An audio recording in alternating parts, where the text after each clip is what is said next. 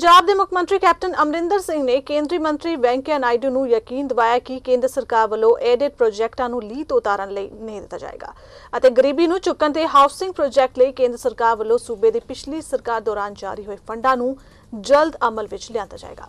ਮੁੱਖ ਮੰਤਰੀ ਕੈਪਟਨ ਅਮਰਿੰਦਰ ਸਿੰਘ ਤੇ ਕੇਂਦਰੀ ਮੰਤਰੀ ਵੈਂਕਈਆ ਨਾਇਡੂ ਵਿਚਕਾਰ ਮੁਲਾਕਾਤ ਦੌਰਾਨ ਇਸ ਮੁੱਦੇ ਤੇ ਚਰਚਾ ਕੀਤੀ ਗਈ। ਪੰਜਾਬ ਦੇ ਮੁੱਖ ਮੰਤਰੀ ਕੈਪਟਨ ਅਮਰਿੰਦਰ ਸਿੰਘ ਨੇ ਕੇਂਦਰ ਸਰਕਾਰ ਨੂੰ ਭਰੋਸਾ ਦਿਵਾਇਆ ਕਿ ਉਹਨਾਂ ਦੀ ਸਰਕਾਰ ਰੀਅਲ ਅਸੇਸ ਰੈਗੂਲੇਟਰੀ ਅਥਾਰਟੀ ਨੂੰ ਸੂਬੇ ਵਿੱਚ ਇਨ ਬਿਨ ਲਾਗੂ ਕਰਨ ਲਈ ਵਚਨਬੱਧ ਹੈ।